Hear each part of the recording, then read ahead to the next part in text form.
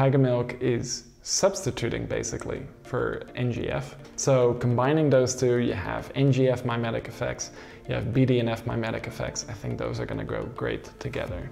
Now on top of that, what would we want to round out the cognitive effects with? I think maybe like a little bit more of that introspective feeling, a little bit more full rounded. I think Cognance would be interesting there. Definitely. Hitting the 5-HT2A receptor with the NGF, with the BDNF, I think that will boost things up quite a bit. And then personally, I would maybe to, to get like a little bit more in that creative mindset, I would add in some saffron to get a little bit more serotonergic activity in there. I think that would round it out very nicely. You would also get some NMDA antagonism from the saffron and some sigma receptor agonism and I think all of that together would make for a really fantastic cognitive stack.